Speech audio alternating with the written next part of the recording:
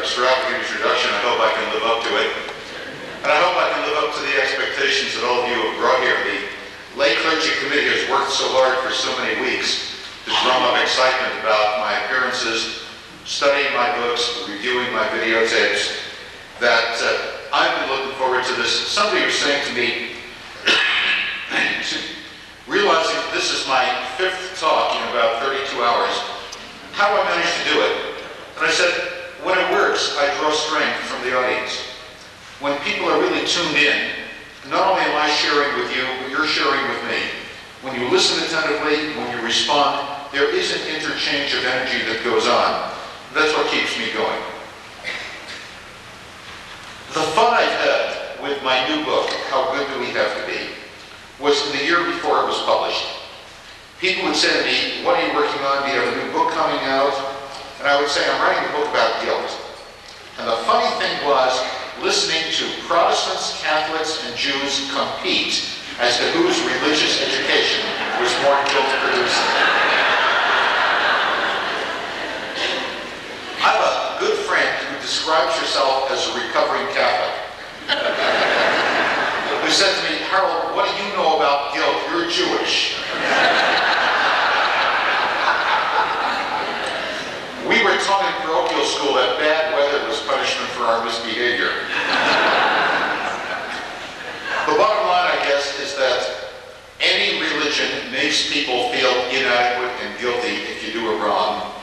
And any religion makes people feel good and strong and clean if you do it right. And I'm not here to advocate any particular religious view. I'm here to share with you my very strong conviction that your faith whatever brand name it comes packaged, needs to speak to you in two voices. One is the prophetic voice, summoning you to do more, to reach higher, to be better, to be fairer, more kind, more just, more generous. And the other, the compassionate, forgiving voice, saying to you, when you have accepted those standards and fallen short of them, and you feel like a failure because you could not live up to what you believe, God still loves you. You are still acceptable in the sight of God. My book was born out of the intersection of two stories. One of them thousands of years old, and you all know it. And the other one, a true story that happened to me about 10 years ago. The story you all know is the third chapter of the book of Genesis, the story of Adam and Eve in the Garden of Eden. For as long as I have known that story, since I was a child, and I'd be interested in you had the, if you had the same reaction when you first heard it as children. For as long as I have known that story, it has bothered me. There are loose ends in the story of the Garden of Eden. There are pieces that don't fit together. For one thing, it sounds like a setup. I mean, anytime you have a story that says, don't eat the fruit, don't open the box, don't go in the room, you know what's going to happen. Otherwise, there'd be no story. I can never understand if God didn't want them to eat the fruit, so don't make the fruit. I mean, he's God. More than that, once they have violated his rule and eaten the fruit, that God comes down so hard on Adam and Eve the punishment seemed so disproportionate to the crime. I walked away saying, boy, if God was going to do that to Adam and Eve for doing one thing wrong, what's he going to do to me for all the things I've done wrong? But more than anything else, it was the name of the fruit that puzzled me. It's not just the fruit you're not supposed to eat, the forbidden fruit. Do you remember the full name? It is the fruit of the tree of the knowledge of good and evil. Now, I'm sorry, if you have an ingredient in the story that is called the fruit of the knowledge of good and evil, that's got to be what the story is about. The story has to be about acquiring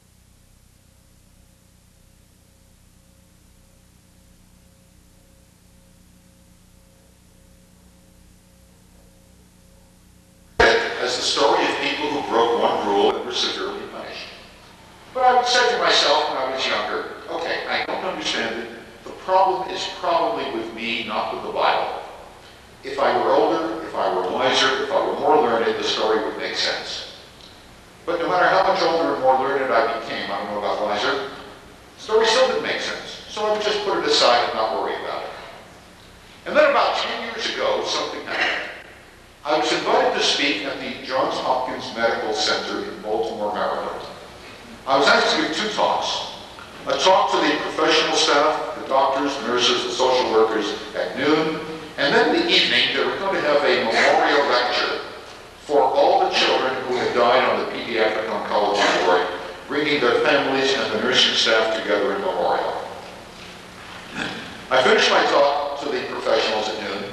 The chaplain at Johns Hopkins Medical Center came over to me. He said, Rabbi Kushner, would you have 15 minutes to talk to one of our patients? We've got somebody in the hospital who would love to meet you. He's read all your books. They've been very important to him. He would love to have you come and just chat with him for a few minutes. Now, I want to make this clear, the chaplain said to me. If you'd rather not, you certainly are under no obligation to. I'll tell him you were very busy, you were tired, you had a very crowded schedule. He's a 32-year-old Episcopal minister, and he's dying of AIDS. I said, sure, I'll go talk to him. I followed the chaplain down the corridor, feeling terribly noble and virtuous that I'm doing this. You know, I'm the Jewish Mother Teresa.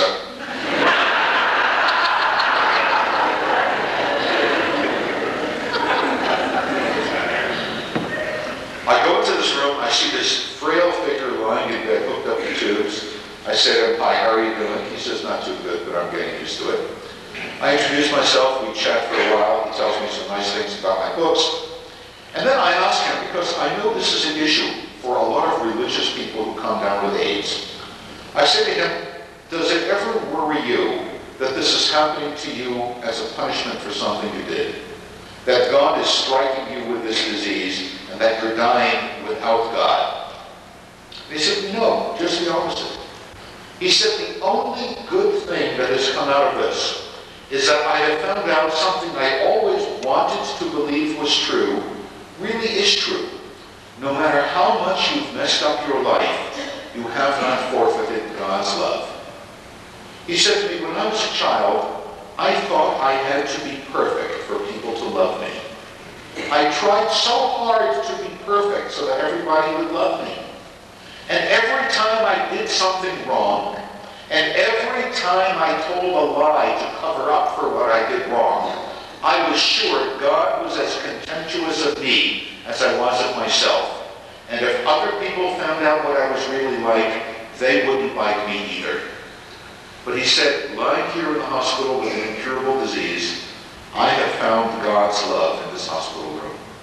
I have felt God's love in the doctors and nurses who know what I have and they don't hesitate to try and make me feel better. I have found it in the friends and relatives who know that I have AIDS and they come and sit and hold my hand and pray with me. And even at night when everybody goes home and they turn the lights off, I have felt God's loving presence in this hospital room. He said, I'm going to be leaving the hospital next week, not because I'm getting better, but because there's nothing more they can do for me and they need the bed. I don't know if my congregation will take me back. Now that they found out I'm gay and I have AIDS and I'm dying. I hope they will, because I have this one last sermon I need to preach to them. I need to tell them what this experience has taught me, that no matter how many things you've done wrong in your life, you have not alienated yourself from the love of God. I don't know if he ever got to give that sermon. I read that he died four months later. But that conversation has remained with me ever since. And one sentence that he said to me crystallized for me what bothered me about the Garden of Eden story. When he said, I thought I had to be perfect for people to love me. That's what we do so terribly well in this society. We teach people that they have to be perfect to be loved. I thought, and that, that made it all clear to me. I remembered all the people in my congregation who would come to me with their complaints. The woman who said, no matter what I do for my widowed mother, it's never enough. I leave work twice a week early to go clean her apartment and cook supper for her, and she never says thank you. All she does is complain that I came late and I look tired. The man who said to me, I'm messed up because my father never told me he loved me. And I said, I believe you, but you know, that was your father's problem. You're a perfectly lovable person. Your father was emotionally constricted and couldn't get the words out. And if your father were here tonight, ask him, he would say, you're right, of course I love my son, but I was raised not to express my feelings in words. And if we could conjure up the spirit of your grandparents, they would say, yes, we raised him to be very closed about his feelings, because we thought that's the way you're supposed to raise a man. And we could trace this all the way back to Abraham, Isaac, and Jacob, and it wouldn't change anything. You were a nice person with a father who couldn't tell you how he felt. And the man will look at me and he say, yeah, Rabbi, intellectually I know you're right. But you know something that still hurts you never told me? This notion that people will stop loving us if we're not perfect. I found it myself. I would listen to my congregants bringing me these problems, and I realized, yes, I'm like that. Every time somebody comes to me with a problem, I expect myself to have a wonderful, brilliant answer to it. And I feel terrible if every, anybody brings me a question I can't answer. And every time I get up to give a sermon, it's be a knockout of a sermon. And I get so depressed if I give a mediocre sermon. I had an experience about three weeks ago. I was just starting to travel around the country promoting my new book. I was on a talk show in Chicago from 8 to 9 o'clock at night. And at 9 o'clock, I was going to go to the airport and catch a late plane to the next city. And I was tired. It was my fifth media event of the day, and I was eager to get on the plane and get there already. In the car going from the radio station to the airport, I realized I had messed up the last question. I had totally not understood what the woman was asking. And I had given her a glib, superficial answer that was no help at all. And I felt terrible about it. Then I said to myself, wait a minute.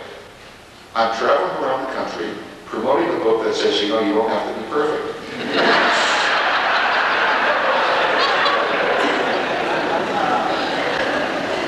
Five people called in with questions. I gave good answers to four of them, and I blew the fifth. That's really not a bad average. I can live with that. But this is so hard for us to learn, that we can be acceptable even if we are not perfect. I have this idea that if tomorrow morning every woman in America woke up feeling good about her appearance, the American economy would collapse.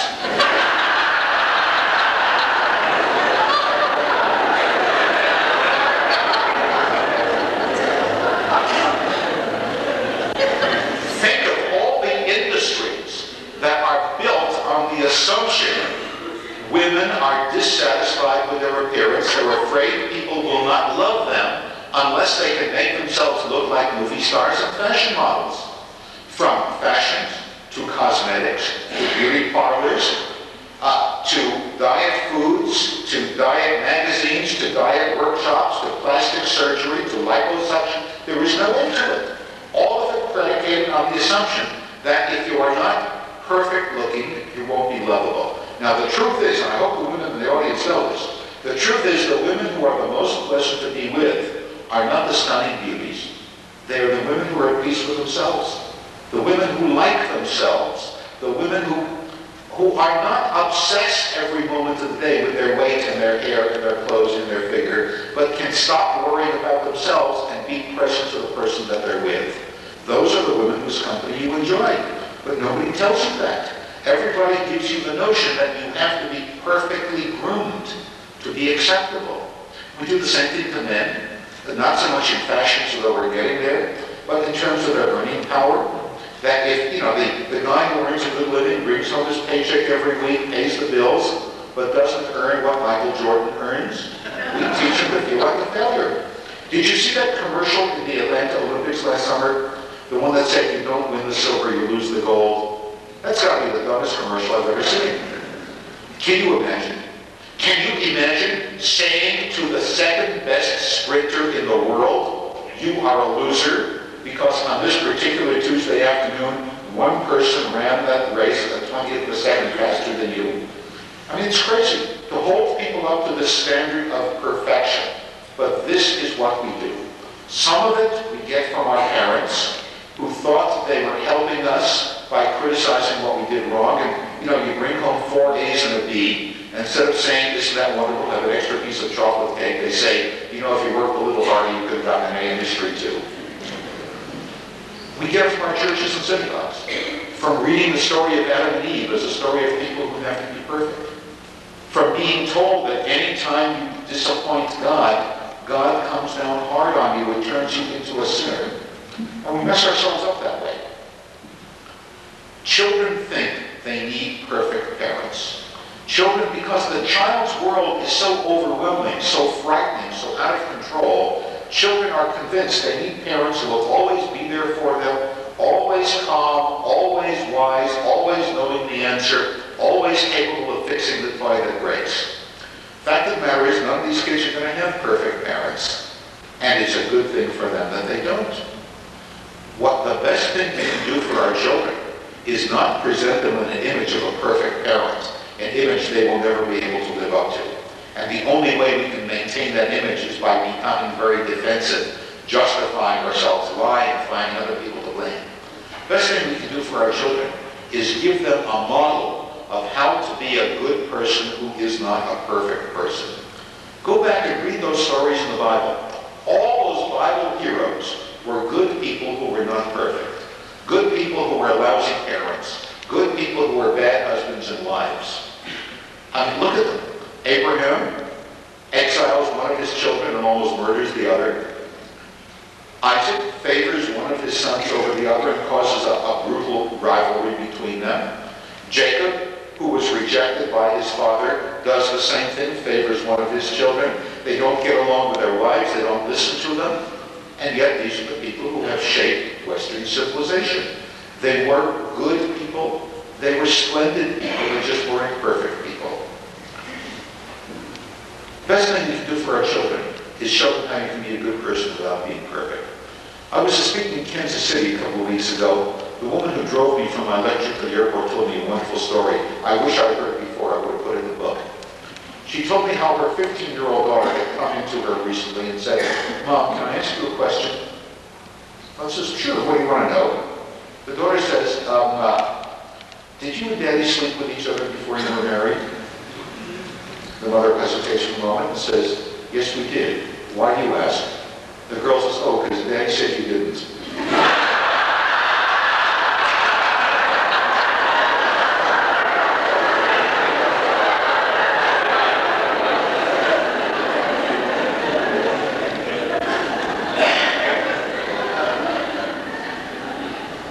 And the mother sits down and has this long talk with the daughter about how your father is not lying to you to protect his image. Your father is very concerned about your values and your vulnerability. He doesn't want you to go off in the wrong direction, and that's why he told you that. And she talked to her daughter about what it's like to be physically excited by someone and to think you're in love. And what a very special thing it is to share yourself that intimately with another person, and it's not something you do casually. And about what it was like when she was her age. She thought she was in love with all sorts of guys. When she finished, the daughter put her arms around her mother and hugged her and said, Mom, you know why I love you? Because you're not perfect.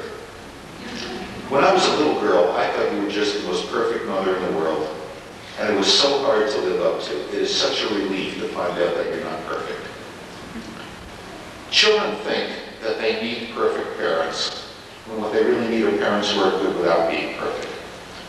Parents have the idea that they need perfect children. So many parents look at their children not as a new life, a new generation. They look at their children as an opportunity to live their own lives over again and do it right this time.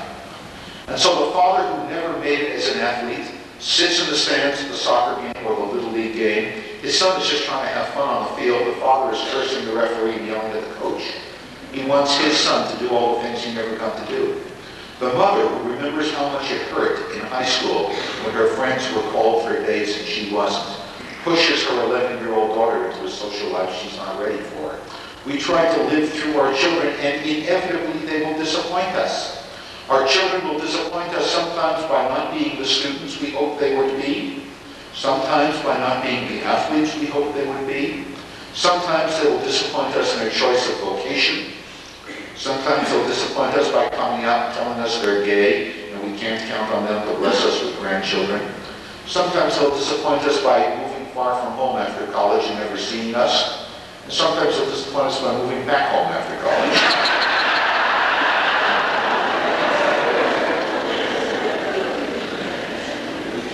But whatever the circumstances are, we will have scripts for our children. In our heads, we will have scripts for how we want our children to turn out. And the one thing you can count on is that your children will deviate from those scripts. And then what do you do? Can you accept them for the people they are? I have this beautiful passage in my book where I quote Marian Wright Edelman in a little book called The Measure of Our Success. She has a letter to her sons where in essence she asks them to forgive her for the mistakes she made as a parent. Times when she said no where she should have said yes, or she said yes when she should have said no. Times when she scolded that she should have been delighted. Times when she got upset when she should have been pleased. She says, I didn't know a whole lot about parenting and I didn't know who to ask. And I tried to mold you into my image of what I thought you should be, instead of watching you emerge and grow and celebrating who you turned out to be. It's a very brave thing to be able to say that to your children and to ask their forgiveness. What should you do when your children don't turn out the way you hoped they would? What I say to parents is, you remember when your kids were one year old and they were just learning to walk? And that first day when they let go of the furniture and they take a tentative step and they fall down, you didn't scold them for being clumsy. You praised them for trying to do something new. You picked them up and assured them it would be better next time. Imagine if you could continue that attitude through all the years of their growing up. When they try to do something and they stumble, when they try to do something and it doesn't work out, instead of coming down hard on them, love them and reassure them. The primal fear of children is that their parents will stop loving them if they do something wrong. That's why against a background of reassurance that love will not be withdrawn, your children will be brave enough to try to do the things they need to do. If they're afraid, if they're afraid that they will make one mistake and you will stop loving them, the way Adam and Eve made one mistake and God stopped loving them, they will be so tense they won't be able to do anything right. I have sat in classrooms where children were so afraid of giving a wrong answer, so afraid of asking a question and being humiliated because it was a dumb question, there was no possibility of any learning going on. If we can give our children permission to try and to fail, and not be afraid they will have their love withdrawn if they do, who knows what sort of wonderful things they will accomplish. When we're dating, when we're courting, when we're trying to decide when we're going to marry, it is so tempting to persuade ourselves that the person we're involved in is perfect. Not because it's a compliment to that person, but because it's a compliment to us. Gee, I must really be attractive if somebody that perfect likes me. So our friends and our roommates and our parents try and point out that this person is not perfect, and we don't want to hear it. We need to believe this person is perfect. This is what we mean when we say love is blind. Romantic love does not permit itself to see the flaws in the other person. It needs to believe you have found the perfect mate. And then you get married, and almost immediately you find out that this person is not perfect. And what do you do with that discovery? My wife and I were once part of a group that was discussing the best-selling book, Men Are From Mars, Women Are From Venus, about the differences between men and women. Woman in the group told the story of how one day she and her husband came an hour late to her best friend's daughter's wedding shower. Embarrassingly late, because her husband refused to stop and ask directions to the restaurant. You're familiar with this, it's a guy thing. There is a theory among Bible scholars that the Israelites wandered 40 years in the wilderness.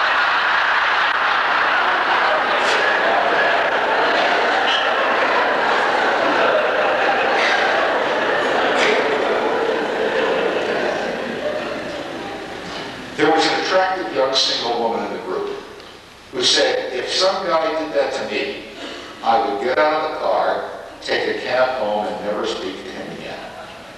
And I was tempted, but I restrained myself. I was, I was tempted to say to her, oh, really? And have you no quirks which would drive somebody crazy if they didn't love you enough to, to put up with them? That's why what I say is that the essence of a happy marriage is not romantic love and the illusion. The essence of happy marriage is forgiveness. And let me make sure you understand what I mean by this. By forgiveness, I don't mean you find out your husband's been fooling around with a secretary, you say it's okay, I don't mind. forgiveness means accepting another person in all of his or her flawed humanity. It's, it's not forgiveness for something he's done. It's forgiveness for being an imperfect human being, because imperfect human beings are the only kind you will ever find. Forgiveness means saying to the person you're married to, I know you more intimately than anyone else in the world knows you. We have not only been physically naked with each other, we have been spiritually and emotionally naked with each other. I know all of your good points and all of your weaknesses, and I buy the package.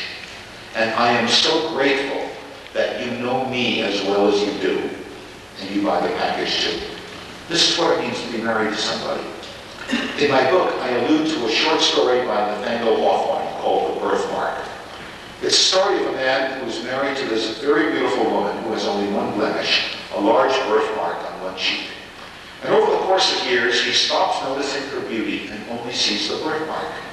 And he says to her, you know, if you could have it surgically removed, you would be completely beautiful. And the wife says, I, uh, I kind of like it. I think it is a beauty mark. And the husband says, well, it's the only thing that's wrong with you. The only thing that stands between you and complete beauty.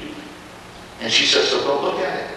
And he says, but if you really loved me, you would get it fixed. And because it's so important to him, she agrees to undergo this surgical procedure to have it removed. And she dies after the operation. When I first read that story, I thought I understood what Hawthorne was saying. I thought the point he was making was that the husband could not love a flawed, imperfect, less than perfect wife. So he ended up lonely. He ended up with nobody. If you cannot love an imperfect person, you will be lonely because imperfect people are the only kind you find. But the more I talk about the story, the more I tell it to groups, the more I'm going to suspect that maybe Hawthorne had another more subtle message in mind. Maybe what he was trying to say was that when the wife underwent the operation and had her blemish removed, and she became perfectly beautiful. There was no room for her in this world. This is not a world for perfect people. This is a world for flawed, imperfect, struggling people like you and me. When she became perfect, she had to be translated to some other world that could accommodate perfection. It's not this world. I want to digress for a moment on the question of forgiveness, because I think there's a real issue for a lot of people and is very easily misunderstood. My pastoral experience and my personal experience has taught me that there are two reasons why people find it hard to forgive someone who's, who's hurt them.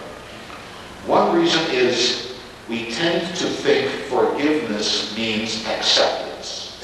Forgiveness means condoning, saying it's all right, it wasn't so bad, you're an okay person. Doesn't have to mean that. Forgiveness can mean what you did was mean and rotten and selfish and you are a louse, but I am tired of seeing myself as a victim. And so I'm going to stop worrying about this. One Yom Kippur, I gave a sermon about the need to forgive. And a woman in my congregation called me up the next day very upset with my sermon. She needed to talk to me. She said to me, 10 years ago, my husband walked out on me and the kids, ran off with a younger woman. For 10 years, I've had to work two jobs to pay the bills. For 10 years, I've had to tell the kids there's no money to go to the movies. And you want me to forgive him? I said to him, yes.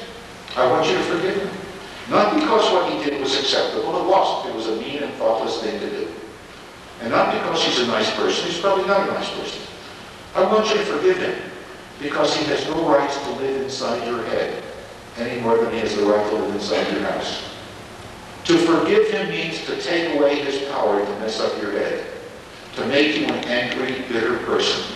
I said, look, for 10 years you've been angry at him and hasn't hurt him at all. He's living in another state of his new life. But look what it's done to you. You don't want that. To forgive does not mean to approve. To forgive means to let go.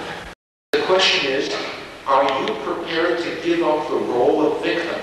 Because the second reason we find it hard to forgive is at some level it is morally satisfying to hold on to that resentment. It permits us to occupy the moral high ground, to feel very righteous. Uh, there's a man who tells the story of something that happened to him in a displaced persons camp after World War II. Another resident of the camp came up and said, could you lend me $10 for just a couple of days? I've got a package coming this weekend. I'll sell it on the black market. I'll give you your money back no later than Sunday, I swear. He lends him $10. Sunday comes and the man says, there's a problem. The package was delayed. I expect it any day now. Don't worry, I'm good for the money, really. And this goes on for about six or seven weeks. Every couple of days, the man has another excuse. Finally, after seven weeks, the man comes up and says, okay, I got it straightened out, here's your $10. And the lender says, keep it. Mm-hmm. For $10, it's not worth changing my opinion of you.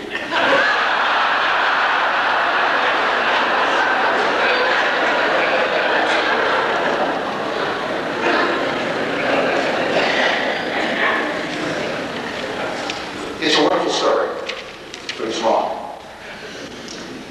Anytime you can let go of grudge and resentment, whether you get your $10 back or not, it's a bargain. Because forgiveness is not a statement about the other person. Forgiveness is a statement about how you feel about yourself. Will you continue to see yourself as a victim? Will you continue to waste all that negative energy on resenting somebody when it really doesn't make any difference to him and it doesn't do you any good?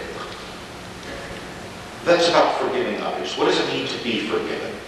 When we say in my religious tradition and in yours that God forgives us when we repent, I understand that to mean it's not a statement about God. It's not a statement about God's emotional state. I have no insight into that. I don't know how God feels about me. To say that God forgives means that something miraculous has happened to me, and I am cleansed of the burden of shame and guilt that I started with. I feel liberated, liberated from the notion that I will continue to do those same things again. It means I can start my new life in the future with the idea I don't have to be the same person I was last year. I can change. I can grow. I can break habits. Psychologists make a distinction between guilt and shame. Guilt, they say, is feeling bad for things you have done. Shame is feeling bad for who you are. Guilt is easy to deal with. If the problem is that you've done bad things, the solution is do good things. The message of guilt, feeling guilty, does not mean you're a bad person. I mean, this is so obvious that as soon as I say it, you'll say, of course, why didn't I think of that before? Feeling guilty does not mean you're a bad person. It means you're a good person who has done some bad things. That's why you feel guilty. If you were a bad person, you wouldn't feel guilty. You would be morally callous. Guilt is the proof that you are morally sensitive. So how do you work off the sense that you have done some things you feel guilty about? Do good things. Do good things not to balance the scales, but to let you say, sometimes I am weak and selfish, but look, sometimes I'm strong and generous. And I choose to say that that is the real me, and the other stuff is the exception. The real me is the person who does good, noble, kind things, not the mean and selfish one. Guilt is fairly easy to deal with, to work off, do good deeds. Shame is a lot harder, because shame has entered into the interior and has started to affect your perception of who you are. Guilt, deeds are external to you. What's the cure for shame? If you have a mild case of it, all you need is one person to love you. One person to say, you're fine, you're perfectly good, there's nothing wrong with you. If you've got a bad case of it, you may need more than that. I can't tell you how many people in the course of my travels have told me virtually in the same words that the most authentic religious experience they ever have is not in the church sanctuary on Sunday morning, but in the church basement on Tuesday night when they go to their 12-step program. One man said to me, I go to church, I hear judgment. I go to my therapist, I hear explanation. I go to my Alcoholics Anonymous meeting, I receive forgiveness. Not forgiveness for the people he's hurt with his alcoholism, because they're not there. Forgiveness for being a flawed human being. He brings his burden of shame to the meeting, and he meets people who say, we know you. We know who you are, and we love you. You don't have to pretend. You don't have to lie to us. We know just how messed up you are. Welcome to this brotherhood of the flawed and the imperfect. And that cures his shame. I don't want to conclude without telling you my interpretation of the Garden of Eden story. Because I told you what I don't like about it. I told you about the way I don't want to understand it. Let me tell you what I think it is. Hold still. This may surprise you. I think the story of Adam and Eve in the Garden of Eden is the biblical account of evolution. How our first human ancestors rose above the animal level and entered the world of knowing good and evil. Entered a world that no other animal can inhabit. And at that point, life became so incredibly complicated, there's no chance they could live it perfectly. Person to live his whole human life without ever getting anything wrong is harder than for a baseball player to bat a thousand to get a hit every time up. Let me go back to the beginning. On the first page of the Bible, when God says, let us make man in our image, who's he talking to? What's the plural? Look at the verse just before that. The verse immediately before that, let us make man in our image. God creates the animals, fills the earth with every manner of beast and living creature. And then God says to the animals, let us make man in our image, yours and mine. Let's combine to bring forth a creature who will be part animal and part divine.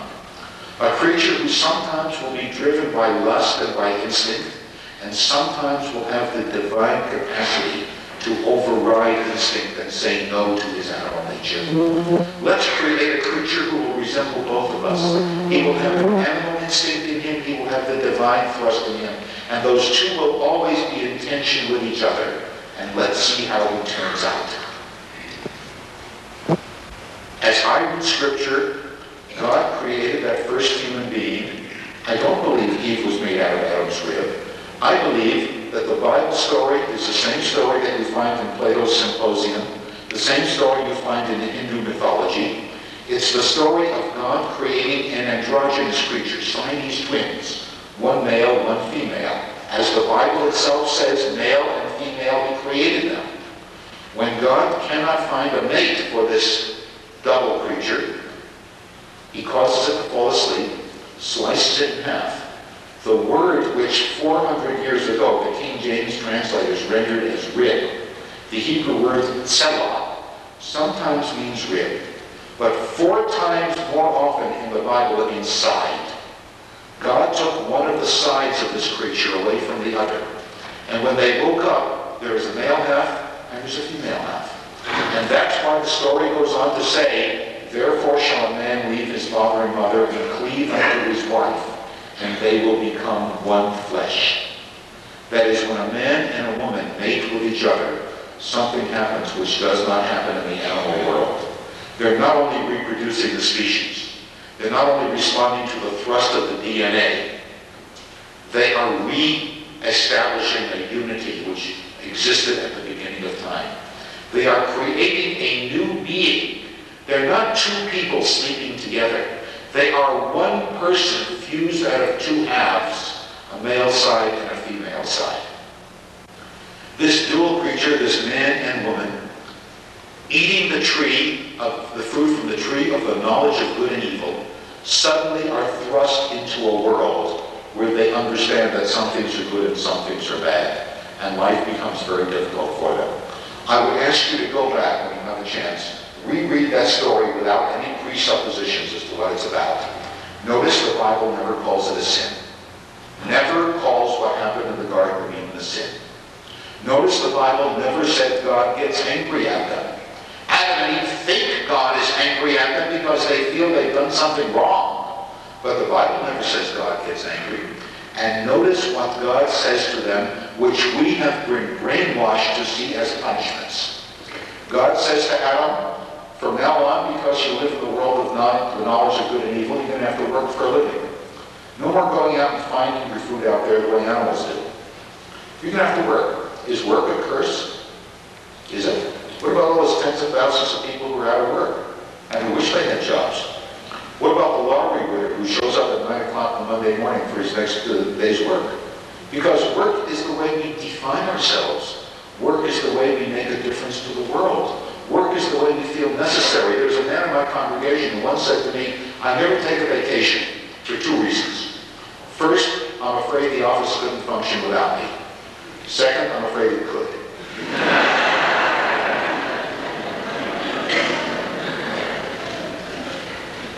Adam's so-called curse that we have to work, Eve's so-called curse, bearing children in pain, I don't think these are curses.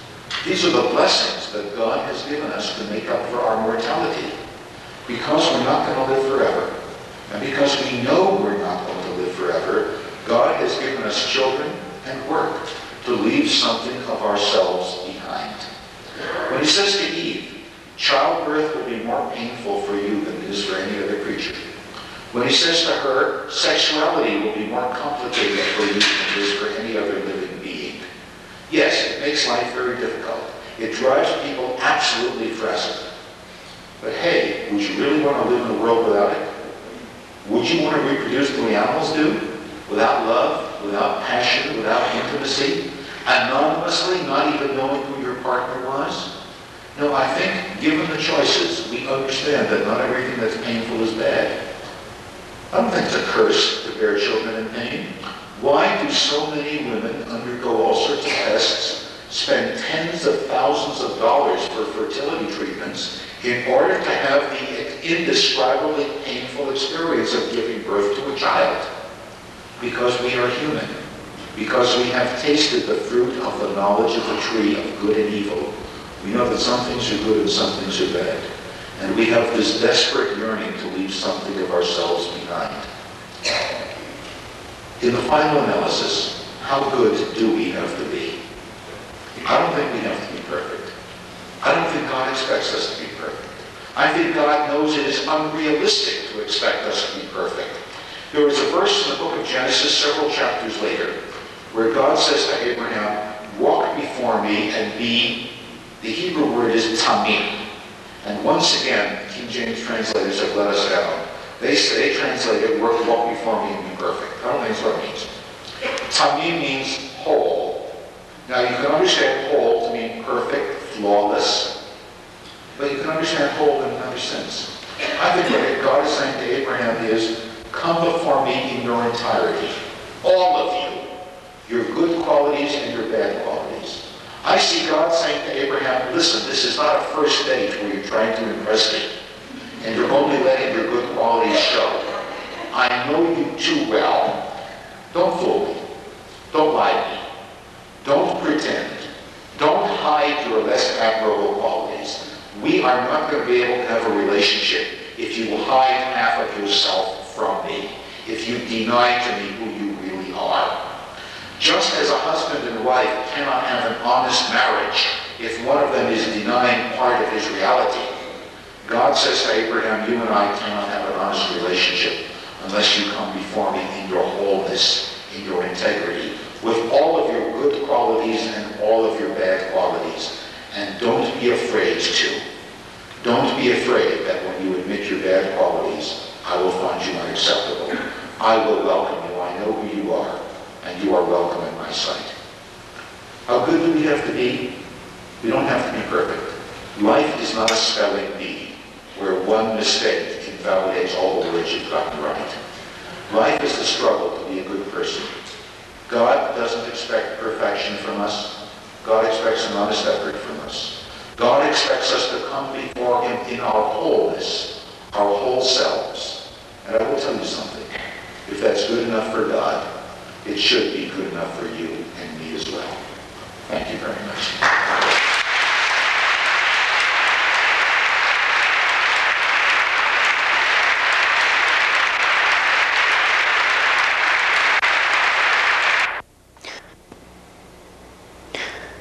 Now, that was an excellent speech, but don't go away. Uh, the Rabbi Kushner will be uh, answering some very interesting questions from the audience in just a few minutes. But before he does that, if this is a type of program that you enjoy and you'd like to see more of this, you have any questions, comments, please write to Inside Longmont, P.O. Box 1342, Longmont, Colorado 80502. We'd greatly like to hear the type of shows you'd like to see in the future. Now back to Rabbi Kushner. While there's this pregnant pause waiting for someone to break the ice, let me tell you a story about asking questions. Some years ago, I was invited to teach a course at Clark University Worcester, Massachusetts. Uh, they were just starting their Jewish Studies department. They couldn't afford full-time faculty. So those of us who had the right number of degrees were invited to teach one course each. And every Tuesday and Thursday morning, I would drive from my home in Natick to the Clark campus.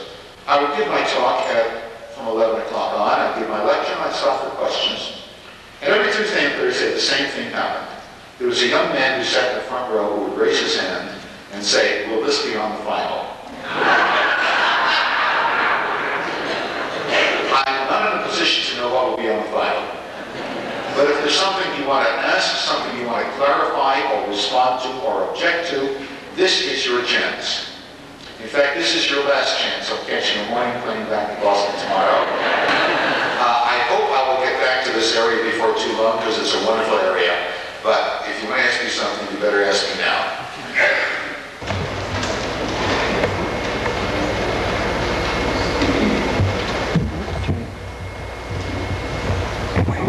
Uh, I just had the impression that uh, God had a certain amount of perfection, that He has created a, a world of seemingly imperfection. Did you talk on that? Yeah. Yeah, uh, the gentleman says that he always thought of God as being perfect, and God seems to have created an imperfect world. Uh, yes, it certainly does seem that way. I don't know why. My theory, my hypothesis is that maybe God loves goodness more than he loves perfection. That God could have created a perfect world. God could have created a world in which every single one of us was programmed to do the right thing in every situation. He could have created human beings who were incapable of anger, incapable of deceit, incapable of selfishness. We're in a very neat world. But if God loves goodness more than he loves perfection, he had to run the risk. The only way we can be good is if there's the possibility of evil. Good has to be a choice. If good is foreordained, if good is compelled, it's not goodness. There is a wonderful passage in the Talmud that I love. It says, when a human being does a good deed, and he didn't have to, God looks down and says, for this moment alone, it was worth creating the world. I would paraphrase that, although I, I can hardly improve on it, it's so beautiful. I would paraphrase that to mean, why were human beings created? So we can be good. So we can be good to each other. So we can do good things. We can provide God. We can bless God with the only thing that God cannot provide for himself. And that is the good deed freely chosen. To make that possible, God had to build in a great element of risk his world. Risk to his creatures and risk to his creation. But perhaps God loves goodness. Perhaps God loves the good deed freely chosen so much, he was willing to take that risk. Yes, ma'am. Oh, follow-up question? Okay. Yes, ma'am. If we strive for goodness, and this afternoon you gave us many examples on how we can live out goodness in our lives, it brings me back to my original question when I first read your book many years ago about why does bad things happen to good people? And I just wondered if you could give us a nutshell of how we get through that, even with a strong faith, even with trying to do good for others, how can we get past that pain and that grief? Uh, the one asks, in the course of our trying to be good and to be as good as we can, when we encounter our share of unfair suffering, when bad things happen to good people, how does our religious faith help us get through this? Uh, I remember once there was a man in my community who was found having committed some sort of terrible fraud in his business and was arrested and fined and then we brought the trial. And he said to me, what good has it done me to go to synagogue every Saturday my whole life if it's not going to help me get out of this? I, I have to bite my tongue to keep from saying, well, it could have taught you not to cheat in business. But what I said to him and what I said to many worthier people was, the purpose of being religious is not to protect you against misfortune. Bad things happen to good people and bad people alike. I, uh, uh, at my talk at the hospice yesterday, I quoted a seminary professor of mine. He used to say, expecting the world to treat you fairly because you're a decent person is like expecting the bull not to attack you because you're a vegetarian.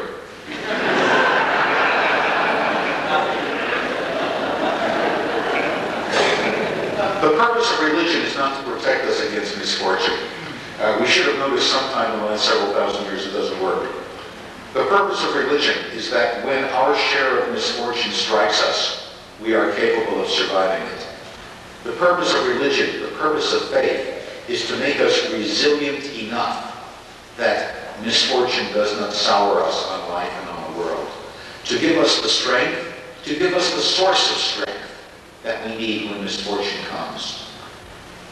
The response, the authentic religious response, the mature religious response, when we are struck with misfortune, when bad things happen to us that we don't deserve, is not to say, God, why didn't you take better care of me? It's to say, God, help me get through this because I'm not sure I can get through it without you. That's where religious faith is necessary for the person who's struck by misfortune. Rabbi, all respect, I ask you, who is the Christ? Uh, the one asked me, who is the Christ? Uh, I'm not sure I know. I think he is different people, he is someone different for different people. I think you probably realize that as a rabbi and as a Jew, I don't affirm Jesus as the Messiah. I see Jesus as God's instrument for bringing the knowledge of God and the morality of the Hebrew Bible to the entire world. I think Jesus was an instrument used by God so that people who were not Israelites would come to know God, to love God, and to know what God demands of them. Uh, and for them, I feel a very special kinship with all who recognize God because Jesus has brought them to God. And Jesus version of the cross.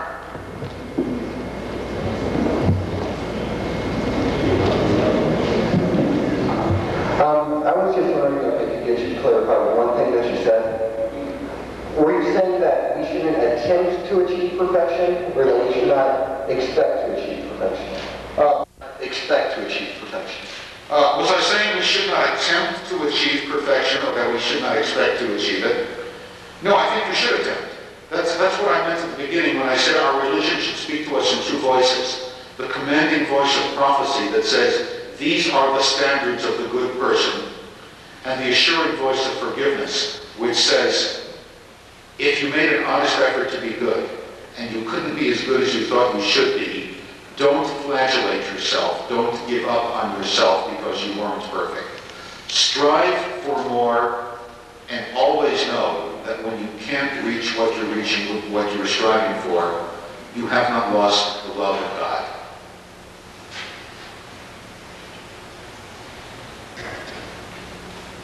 If there's one more question, we'll uh, hold still for that. Yeah. Would you speak on forgiving yourself? Is that the, do you do the same as forgiving? Talk about that. Uh, let me ask, uh, When you ask about forgiving yourself, is that just like forgiving other people? Man, it's a lot harder to forgive yourself. If you're a good person. Uh, I just read something very clever the other day. Somebody said, religion is good for good people and bad for bad people. Too often, religion becomes a kind of a, uh, a permission slip for bad people to say, hey, I'm okay, I'm only human, what do you want from me? The most sensitive people are the ones who have the most trouble forgiving themselves because they're most conscious of what they've done wrong. But then there are a lot of people who find it easier to forgive themselves, who find it easier to rationalize for themselves than they do to make excuses for their neighbor. For people who find it harder to forgive themselves, The only thing I can say to them would be the closing words of my address tonight. If who you are is good enough for God to love, who do you think you are to hold yourself to higher standards than God does? Now, forgive yourself. If you're, um, if you're not a real louse, forgive yourself.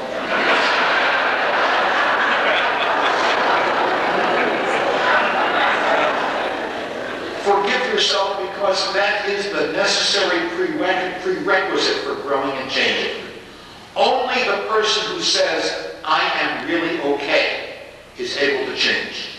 The person who says, I am hopeless, I keep on doing this, I always mess up, that person is not going to change. Every time that person finds himself or herself in that same situation, that person will go back to the old ways of responding. Only the person who says, I am better than that, that's not the real me. Only that person is going to know how to, how to do it better the next time he finds himself in a situation. Sure. Uh, Okay, okay, oh, okay, first, yes. All right. Yes. Would you speak to the power of prayer and your feelings about that? The power of prayer. Power of prayer. Uh, yes, I, I was invited to address the Jewish community of Boulder this morning. We got into that a little bit. Uh, I suggested that one of the things that's happened in Western society is that we have confused God with Santa Claus. And we have learned to think of prayer as making a list of everything you want and don't have, and persuading God that you've been a good girl or boy you deserve it. No, I'm sorry, that's not prayer, that's Santa Claus. Prayer is not so much asking as thanking. I believe the first building block of a religious view of life is gratitude. Prayer is coming into the company of God, coming into the presence of God and being changed by that encounter. In terms of what we've been talking about, the quest of perfection, let me share with you two prayers from the Bible, uttered by the same man in the same place 20 years apart. The man is the patriarch Jacob. The first time we encounter Jacob in prayer, he's a teenager who's run away from home. He's got into trouble at home. He lied to his father. He stole the birthright from his older brother. You remember the story. And he's really messed, up, messed himself up at home. He's running away to his uncle Laban's house in another country. First night away from home, it's getting dark. Jacob is scared. He's a frightened adolescent. He prays and listens to this teenager's prayer. Jacob says, God, get me through this. Bring me home okay, and I will worship you exclusively and kick back 10% of everything I ever earned. That's his prayer. Everything I make, I will tithe to you. 10% kickback. Jacob is bargaining with God. You expect him to say, that's not enough, 15%. 20 years later, Jacob comes to that same riverbank, which is the border between Canaan and Aram, coming from the other direction. He's older and wiser. He's been married, he's had children, he's made a fortune, he's lost a fortune. Now he's coming home after 20 years. Tomorrow morning he's going to meet his brother Esau for the first time in 20 years. The last time he saw his brother, his brother said, the next time I see you, I'm going to kill you. And this is it. And Jacob again is scared. And again, a frightened Jacob prays. But now, listen to his prayer. No bargains, no kickbacks, no discussions, no negotiations with God. Listen to the prayer of a more mature Jacob. Now he says, God, you've got to help me. Not because I can do anything for you. I have no way of thanking you for what you've already given me. You don't owe me anything more. You've got to help me very simply because I can't do this without you. In essence, I understand Jacob's prayer was saying, for my whole life to this point, every time I've been in a crisis situation, I have responded by lying and running away. I am tired of, lying and running away. That's not the kind of person I want to be. But I'm sure if I have to face Esau tomorrow, I'm going to fall back into the same patterns again. I can't do this by myself. God, help me become a better person, and I think I can do what I know is right. That's a prayer. That's a prayer for forgiveness. That's a prayer for change. No bargains, no kickbacks, no tithing. Just saying, God, you've got to help me because I know this is right and I can't do it without you. That's a prayer I can believe in. Yes, you were... Uh, Can I ask the last question? You just answered it. Oh, great. In that case, all that's left is for me to thank Don Oswald and the committee and the pastor and all of you for coming tonight so that our gathering could be so successful. I come away reaffirmed and strengthened by our encounter, and I hope that you go to your homes reaffirmed and strengthened as well. So thank you and bless you all.